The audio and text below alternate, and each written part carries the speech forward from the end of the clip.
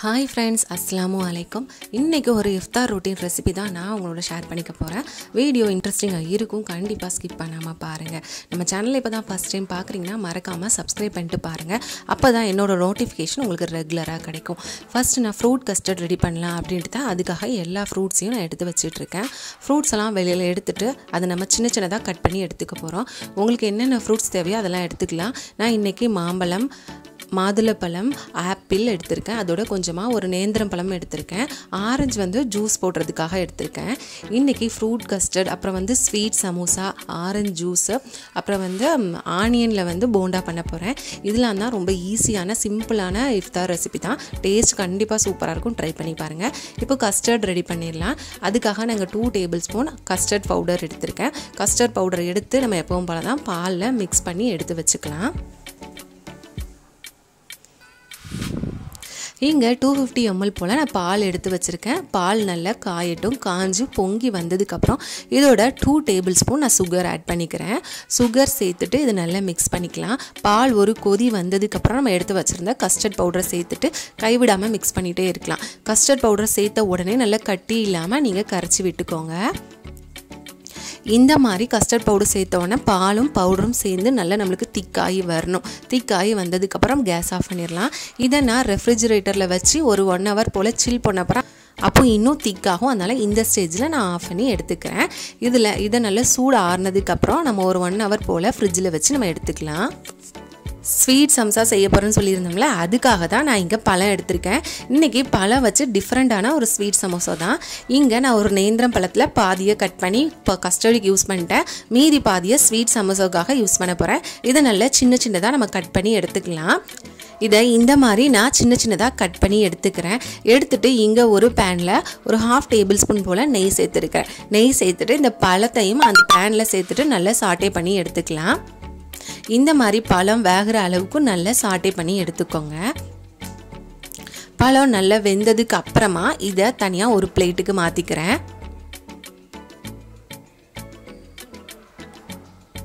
பிளேட்டுக்கு மாற்றிட்டு திரும்ப நான் இதோட ஒரு ரெண்டு டேபிள் ஸ்பூன் போல் சுகர் சேர்த்துக்கிறேன். சுகரை வந்து நான் இப்போ வந்து கேரமலைஸ் பண்ணிக்க போகிறேன் இந்த மாதிரி சுகர் வந்து கேரமலைஸ் ஆகட்டும்.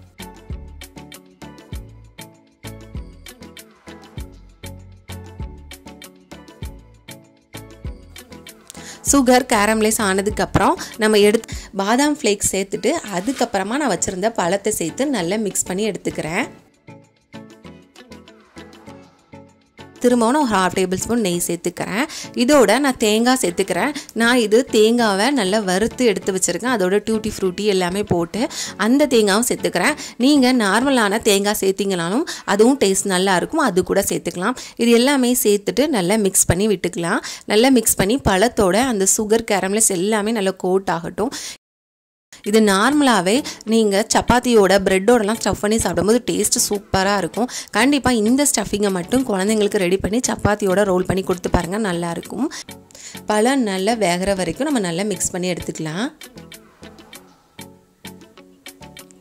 இந்த ஸ்டஃபிங் நல்லா ஆறட்டும். ஆறுனதுக்கு அப்புறமா தான் நம்ம சம்சா சீட்டில் வச்சு ஸ்டஃப் பண்ண போகிறோம் நான் இங்கே சம்சா சீட் எடுத்து வச்சுருக்கேன். நான் வீட்டிலே ப்ரிப்பேர் பண்ணேன்னா ஆல்ரெடி சமோசா எப்படி பண்ணணும் சீட் எப்படி ப்ரிப்பேர் பண்ணணும் அந்த வீடியோ எல்லாமே நான் லிங்கில் டிஸ்கிரிப்ஷனாக கொடுக்குறேன். வேணா செக் பண்ணி பாருங்கள் ரொம்ப ஈஸியாகவே இந்த ஸ்ப்ரிங் ரோல் சீட்டும் நம்ம ரெடி பண்ணிடலாம் ஃபஸ்ட் இது வந்து நான் ஸ்ப்ரிங் ரோலுக்காக எடுத்து வச்சனால அதை தனியாக எடுத்து வச்சுக்கிறேன். சம்சாக்காக ஒரு சில சீட் வந்து கட் பண்ணி வச்சுருந்தேன். அதையும் நான் எடுத்து வச்சுக்கிறேன். இன்றைக்கி வந்து நான் குட்டி குட்டியாக தான் சம்சா ரெடி பண்ண போகிறேன் மினி சம்சோ பண்ணால் தான் ஸ்வீட் சம்சோவுக்கு நல்லா இருக்கும். அதுக்காக நான் சீட்டெல்லாம் இப்போ நான் ரெடி பண்ணி எடுத்து வச்சுக்கிறேன். செப்பரேட் பண்ணி எடுத்ததுக்கப்புறம் இந்த சீட் சீட்டை சென்டரில் கட் பண்ணி எடுத்துக்கிறேன். இப்படி பண்ணிங்கன்னா நம்மளுக்கு சின்ன சின்ன சம்சாவாக கிடைக்கும். நான் எப்படி பண்ணணும்னு காமிக்கிறேன். வீடியோவில் பண்ணுற மாதிரி அதே மாதிரி பண்ணுங்கள் ரொம்ப ஈஸ் ஈஸியாகவும் சிம்பிளாகவும் ஸ்வீட் சம்சா ரொம்ப குட்டி குட்டியாக பண்ணிடலாம் நான் இங்கே சம்சாவை ஒட்டுறதுக்காக மைதா மாவு ஒரு டேபிள் ஸ்பூன் சேர்த்து கொஞ்சமாக தண்ணி சேர்த்து நல்லா பேஸ்ட்டாக கரைச்சி எடுத்துக்கிறேன். ரொம்ப தண்ணியாக கரைக்காதீங்க. இந்த மாதிரி திக்காக கரைச்சி எடுத்துக்கோங்க. அதுதான் நம்மளுக்கு நல்லா ஒட்டி பிடிக்கும். வச்சுருந்த ஸ்டஃபிங் எல்லாமே நல்லா ஆறிடுச்சு இப்போ சம்சா வந்து ரோல் பண்ணிடலாம் இப்போ நான் சம்சா சீட் ஒன்று எடுத்திருக்கேன். இந்த மாதிரி நான் காமிச்சிருக்க வீடியோவில் காமிச்சிருக்க மாதிரியே நீங்கள் ரோல் பண்ணுங்கள் சென்டர்லேருந்து ரோல் பண்ணி எடுத்துகிட்டு அது மேலேயும் நீங்கள் ரோல் பண்ணிட்டுனா நல்லா சின்னதாக குட்டியாக நமக்கு சம்சா ரெடி ஆயிரும். பாருங்க இவ்வளோ சூப்பராக சின்னதாக ரெடி ஆயிருக்குன்னு. இது மேலே நம்ம பேஸ்ட் பண்ணியிருந்தேன் பேஸ்ட் பண்ணிட்டு உள்ள ஸ்டஃபிங் வச்சு நம்ம பேஸ்ட் பண்ணிடலாம்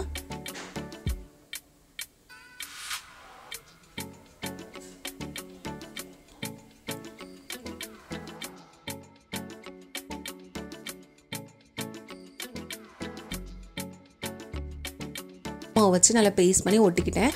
இப்போ உள்ள ஸ்டஃபிங் வச்சுக்கலாம். நான் இது ஸ்டஃபிங் கொஞ்சம் நிறைய வச்சுருந்தனால இது சம்சா சீட் வந்து கொஞ்சம் கிழிஞ்சிருச்சு. ஆனால் அதையும் நான் மேனேஜ் பண்ணி இந்த சம்சாவை ரெடி பண்ணியிருக்கேன். இந்த மாதிரி சம்சாலாம் பண்ணும்போது கண்டிப்பாக பொறுமை தேவை. அதையும் மீறி அது கிழிஞ்சிருச்சுன்னா கண்டிப்பாக அதை அட்ஜஸ்ட் பண்ணி ஒட்டுற ஐடியாவும் தெரிஞ்சிருக்கணும். நான் அந்த அதே மாதிரி இதில் ஒரு சின்னதாக சம்சா சீட்லேருந்து ஒரு சின்ன துண்டு எடுத்துட்டு அந்த எங்கே கிழிஞ்சிருக்கோ அதுக்கு மேலே கொஞ்சமாக பேஸ்ட் தடவி நல்லா ஒட்டி எடுத்து வச்சுருக்கேன். பாருங்கள் எந்த டிஃப்ரெண்ட்டுமே தெரியல. பொரிக்கும் போது இது வெளியவும் வராது. இந்த மாதிரி இந்த மாதிரி நம்ம ஒரு சிலது ரெடி பண்ணும்போது இந்த மாதிரி பிரச்சனையும் வரும். அதையும் மேனேஜ் பண்ணுற ஐடியாவும் தெரிஞ்சிருந்தா சமையல் வேலையை நம்ம ரொம்ப சிம்பிளாகவும் ஈஸியாகவும் முடிச்சிருந்தா அதுவும் டென்ஷன் எதுவுமே இல்லாமல் முடிச்சிடலாம் நான் இந்த மாதிரி பேஸ்ட் பண்ணி எடுத்து வச்சுக்கிட்டேன் பாருங்கள் நல்லா super mini sweet samsa ready ஆயிடுச்சு. நான் இதே மாதிரி அடுத்ததும் ஸ்டஃபிங் பண்ணி காமிக்கிறேன் பாருங்கள் எப்படி ரோல் பண்ணுறேன்னு நீங்கள் வீடியோவில் இருக்கிற மாதிரி பண்ணிங்கனாலே ரொம்ப சிம்பிளாக ஈஸியாக பண்ணிடலாம்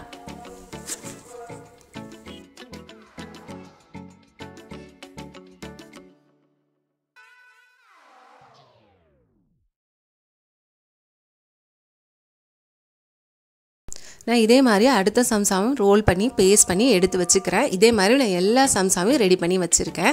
இது ரெடி பண்ணி ஒரு ஒன் ஹவர் பக்கத்தில் வச்சுட்டு அதுக்கப்புறம் நீங்கள் டீப் ஃப்ரை பண்ணிங்கன்னா ஆயில் எதுவுமே குடிக்காமல் நம்மளுக்கு நல்ல கிறிஸ்பியாகவே கிடைக்கும். இது இது ஒரு சின்ன டிப் கண்டிப்பாக அதே மாதிரி ட்ரை பண்ணி பாருங்கள் சம்சா எந்த ரோல் பண்ணினாலுமே நீங்கள் ரெடி பண்ணிவிட்டு ஒரு ஒன் ஹவர் வச்சுட்டு அதுக்கப்புறம் ஃப்ரை பண்ணுங்கள் இந்த மாதிரி நான் எல்லாமே ரெடி பண்ணி நான் வச்சுருந்தேன். அதுக்கப்புறம் டீப் ஃப்ரை பண்ணிக்கலாம். இஃப்தாருக்கு ஒரு ஒன் ஹவர் முன்னாடி எடுத்து டீப் ஃப்ரை பண்ணிங்கன்னா கரெக்டாக இருக்கும். இப்போ நான் ஃப்ரூட் கஸ்டர்டுக்காக எல்லா ஃப்ரூட்ஸையும் கட் பண்ணி எடுத்து வச்சுக்கிட்டேன். மாம்பழம் மாதுளப்பழம் எல்லாமே கட் பண்ணியாச்சு. கடைசியில் ஆப்பிள் வாழைப்பழம் இது எல்லாமே சேர்த்துக்கிறேன்.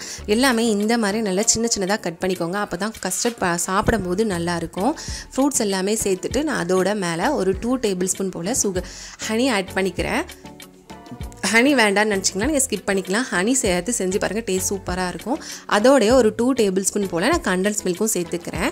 கண்டல்ஸ் மில்க் எல்லாமே சேர்த்துட்டு நல்லா மிக்ஸ் பண்ணி எடுத்துக்கலாம். நல்லா மிக்ஸ் பண்ணதுக்கப்புறம் நான் ஃப்ரிட்ஜிலேருந்து நல்லா சில்லுன்னு கண் கஸ்டர்ட் எடுத்து வச்சுருக்கேன். பாருங்கள் நம்ம ஏற்கனவே வச்சதோட இப்போ நல்லா திக்காக இருக்குது இது நல்லா அடிச்சுட்டு சேர்த்துக்கோங்க. நல்லா அடிச்சிட்டிங்களா க்ரீமி ஆயிரும். அதை நல்லா அதையும் உள்ளே சேர்த்துட்டு நல்லா மிக்ஸ் பண்ணிக்கலாம். இது எல்லாத்தையுமே மிக்ஸ் பண்ணிவிட்டு திரும்பவும் நான் ஒரு ஒன் ஹவர் போல் ஃப்ரிட்ஜில் வச்சுக்கிறேன். இஃப்தார் டைமுக்கும் மேலே ஐஸ்கிரீம்லாம் போட்டு சர்வ் பண்ணிக்கலாம். டேஸ்ட்டு ரொம்பவே சூப்பராக இருக்கும். இது எல்லாமே நல்லா மிக்ஸ் பண்ணிக்கலாம். எல்லாம் மிக்ஸ் ஆகிற மாதிரி. இந்த மாதிரி ஒரு டைம் ஃப்ரூட் கஸ்டர்ட் ரெடி பண்ணி பாருங்கள் உடம்புக்கும் நல்லது. டேஸ்ட்டும் ரொம்பவே சூப்பராக இருக்கும். இது எல்லாமே மிக்ஸ் பண்ணிவிட்டு ஒரு மூடி போட்டு க்ளோஸ் பண்ணி ஒரு ஒன் ஹவர் பக்கத்தில் நான் ஃப்ரீசரில் வச்சுட்டு இஃப்தார் டைமுக்கு வெளியில் எடுத்துகிட்டு ஐஸ்கிரீம் மேலே போட்டு சர்வ் பண்ணிக்கிறேன். ரொம்ப டேஸ்ட்டாக இருக்கும். இதுவும் இருக்கட்டும். அடுத்தது நான் இப்போ ஆரஞ்சு ஜூஸ் ரெடி பண்ணிக்க போகிறேன் ஆரஞ்சில் இருக்க எல்லா சீட்ஸையும் எடுத்துகிட்டு ஆரஞ்சை மட்டும் எடுத்து வச்சுருக்கேன். ஆரஞ்சு ஜூஸ் ரெடி பண்ணும்போது பல்ஸில் கிரைண்ட் பண்ணுங்கள் அப்போ தான் சீட்ஸ் எதுவும் இருந்தாலுமே நம்மளுக்கு கசப்பு ஏற்படாது. நான் அதனால் ஆரஞ்சோட கொஞ்சமாக ரெண்டு டேபிள் ஸ்பூன் சுகர் மட்டும் சேர்த்துட்டு பல்ஸில் கிரைண்ட் பண்ணி எடுத்திருக்கேன். இதையும் ஸ்ட்ரெயின் பண்ணி எடுத்து வச்சுக்கலாம். இதையும் எடுத்து வச்சுட்டு ஃப்ரீசரில் நான் எடுத்து வச்சுக்கிறேன். நம்ம இஃப்தார் டைமில் சர்வ் பண்ணும்போது நல்ல ஜில்லுன்னு சூப்பராக இருக்கும். இதையும் நான் ஸ்ட்ரெயின் பண்ணி எடுத்து வச்சுக்கிறேன். நல்ல சூப்பரான ஆரஞ்சு ஜூஸும் ரெடி ஆயிடுச்சு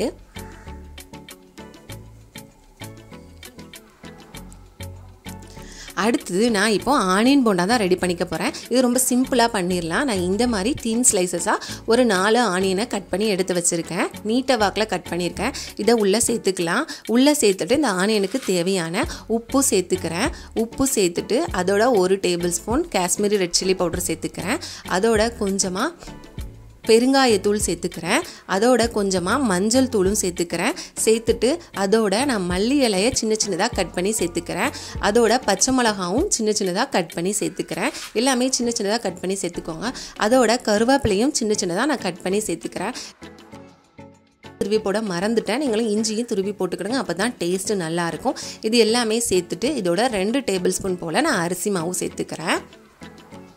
அரிசி மாவு சேர்த்துட்டு அதோட ஒரு மூணு டேபிள் ஸ்பூன் போல் கடலை மாவு சேர்த்துக்கிறேன். நீங்கள் அரிசி மாவு கடலை மாவுலாம் வேண்டாம்னு நினச்சிங்கன்னா நம்ம நார்மலாக கடையில் கிடைக்கிற பஜ்ஜி போண்டா மிக்ஸ் கூட நீங்கள் யூஸ் பண்ணிக்கலாம். அதுவும் டேஸ்ட்டு சூப்பராகவே வரும். இதில் தண்ணி எதுவுமே சேர்க்காமல் நல்லா இதோடையே நல்லா மிக்ஸ் பண்ணி எடுத்துக்கலாம். வெங்காயத்துள்ள தண்ணியை நம்மளுக்கு போதும். அதனால் இதில் தண்ணி எதுவும் சேர்க்காமல் நல்லா மிக்ஸ் பண்ணிக்கோங்க. நான் தண்ணி எதுவுமே சேர்க்காம தான் மிக்ஸ் பண்ணுறேன். பாருங்கள் நல்லா மிக்ஸ் ஆகட்டும். நல்லா மிக்ஸ் ஆனதுக்கப்புறம் நம்ம கையில் எடுத்து பார்த்தீங்கன்னா நம்மளுக்கு உருண்டை பிடிக்க வரணும். அந்த அளவு மிக்ஸ் பண்ணிக்கோங்க. உங்களுக்கு உருண்டை பிடிக்க வரலனா மட்டும் நீங்கள் கொஞ்சமாக தண்ணி ஆட் பண்ணிக்கலாம். நான் தண்ணி எதுவுமே சேர்க்காமே எனக்கு நல்ல உருண்டை பிடிக்க வந்துருச்சு. அதனால் அப்படியே வச்சுருக்கேன். இது ஒரு டென் மினிட்ஸ் போல் ஊற வச்சுருங்க. ஊற வச்சதுக்கப்புறம் போண்டாவாக பொரிச்சு எடுத்துக்கலாம். அப்போ தான் சூப்பராக இருக்கும். இப்போது கடாயில் நான் நல்ல எண்ணெய் ஃப்ரை பண்ணி வச்சுருக்கேன். ஃபர்ஸ்டாவை ஃப்ரை பண்ணி எடுத்துடலாம். வீட்டில் ஒன்று ரெடி பண்ணிங்கன்னா ஸ்வீட்டை ஃப்ரை பண்ணி எடுத்துட்டு அதுக்கப்புறம் காரத்தை ஃப்ரை பண்ணுங்கள் எண்ணெயை மீடியம் ஃப்ளேமில் வச்சுட்டு எண்ணெய் காஞ்சதுக்கப்புறம் சம்சாவை உள்ளே சேர்த்துக்கிறேன். ரெண்டு சைடும் நல்லா கோல்டன் ப்ரௌன் ஆகணும். மீடியம் ஃப்ளேமில் வச்சுட்டு ஃப்ரை பண்ணுங்கள் அப்போ தான் நல்லா உள்ளே அப்போ தான் நல்லா நம்மளுக்கு கிறிஸ்பியாக கிடைக்கும். நான் ரெண்டு சைடும் நல்லா கோல்டன் ப்ரௌன் ஆனதுக்கப்புறம் காமிக்கிறேன். மீடியம் ஃப்ளேமில் வச்சு தான் நான் குக் பண்ணிகிட்ருக்கேன் இந்த சம்சா ரொம்ப நேரத்துக்கு நல்லா கிறிஸ்பியாகவே இருந்தது. அந்த ஸ்டஃபிங்கோட சாப்பிடும்போது டேஸ்ட் ரொம்பவே டேஸ்ட்டாக இருந்துச்சு. கண்டிப்பாக இந்த சம்சாவை ட்ரை பண்ணி பாருங்கள் இது ரெண்டு சைடுமே நல்லா கோல்டன் ப்ரௌன் ஆகிற வரைக்கும் திருப்பி திருப்பி போட்டு நான் குக் பண்ணிக்கிறேன். இது நல்லா கோல்டன் ப்ரௌன் ஆனதுக்கப்புறம் எடுத்துடலாம். சூப்பரான கிறிஸ்பியான மினி சம்சா ரெடி ஆயிடுச்சு அதுவும் நம்ம உள்ளே இருக்க ஸ்டஃபிங்கோட சாப்பிடும்போது டேஸ்ட் ரொம்பவே சூப்பராக இருக்கும்.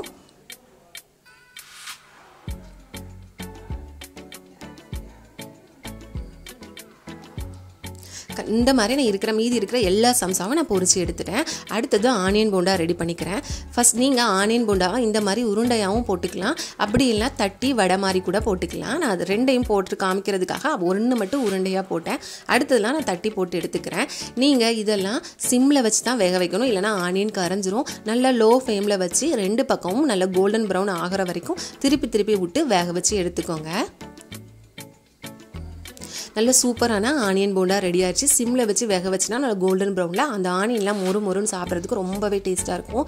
கண்டிப்பாக இந்த ஆனியன் போண்டாவை ஒரு டைம் ட்ரை பண்ணி பாருங்கள் ரொம்ப சிம்பிளான ரெசிபிஸ் தான் நான் இன்றைக்கி இஃப்தாருக்கு ட்ரை பண்ணியிருக்கேன் நான் இன்றைக்கி ட்ரை பண்ண ரெசிபிஸ் எல்லாமே ஒரு நாள் நீங்களும் இஃப்தாருக்கு ட்ரை பண்ணி பாருங்கள் பார்த்துட்டு எப்படி இருந்ததுன்னு கமெண்ட்டில் சொல்லுங்கள் நம்மளோட ஆனியன் போண்டாவும் நல்ல கிறிஸ்பியாக சூப்பராக ரெடி ஆயிடுச்சு. மீதம் இருக்கிறோம் நான் இந்த மாதிரி இன்றைக்கி நான் ரிஃப்தாருக்கு ரெடி பண்ணுறது எல்லாமே எடுத்து வச்சுருக்கேன்.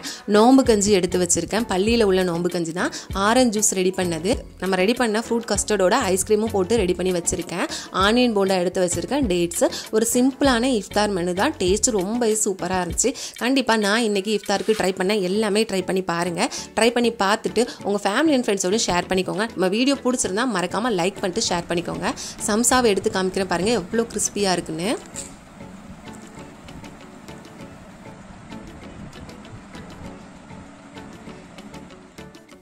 நல்லாவே கிறிஸ்பியாக இருந்தது. ரொம்ப நேரத்துக்கு கண்டிப்பாக இந்த ரெசிபிஸ் எல்லாமே ட்ரை பண்ணி பாருங்கள் சமுசா சீட்லாம் எப்படி ரெடி பண்ணணும்னு நினச்சிக்கலாம் அந்த வீடியோவும் நம்ம டிஸ்கிரிப்ஷன் கீழே லிங்க் கொடுத்துருக்கேன். கண்டிப்பாக ட்ரை பண்ணி பாருங்கள் சேனலை மறக்காமல் சப்ஸ்கிரைப் பண்ணிவிட்டு உங்கள் ஃபேமிலி அண்ட் ஃப்ரெண்ட்ஸ் ஒன்று ஷேர் பண்ணிக்கோங்க. வீடியோ பிடிச்சிருந்தா மறக்காமல் லைக் பண்ணிக்கோங்க ஷேர் பண்ணிக்கோங்க.